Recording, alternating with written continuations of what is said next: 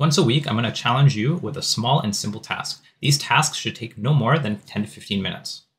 And the goal of these challenges is to help you learn not only Godot, but also problem solving. You can access the challenges in real time before I release the solution a week before in my Patreon. Link is down below. Welcome back, everyone. In this tutorial, or video, we're going to be completing the uh, collectibles section. So this one is pretty easy because we've actually already done a collectible uh, challenge itself, um, but this one is more so uh, geared towards actually showing the collectibles on the top left or as GUI. So here you can see that the, the counter went up. The basic idea is very easy. In the collectible, we simply need to check for the player, whatever way that is, uh, I usually do it by the string of the body, or you can do it with groups, whatever. And then we're going to add to our game.gems.collected. Now we have worked with global scripts in this uh, series, um, but we'll show it again. Uh, and then of course we'll queue free. So all we have to do to make a global script or a global variable is create that script. So here we have the game variable and then have the variable called gems collected.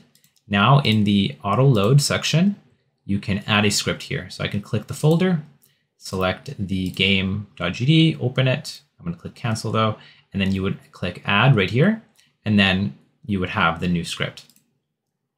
Now, in order to show something, it's pretty simple. All we need is a label with a script. So I've already created this script. The basic idea is that we're going to have a process function that constantly updates. The reason why we can't do it in the ready function is because it would only happen once and we want this to constantly update, right?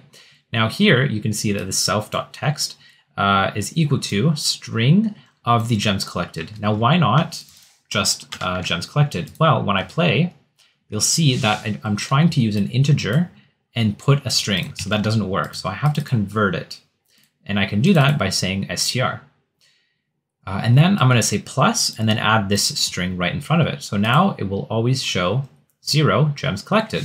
And then I can add and it will say now one gem collected.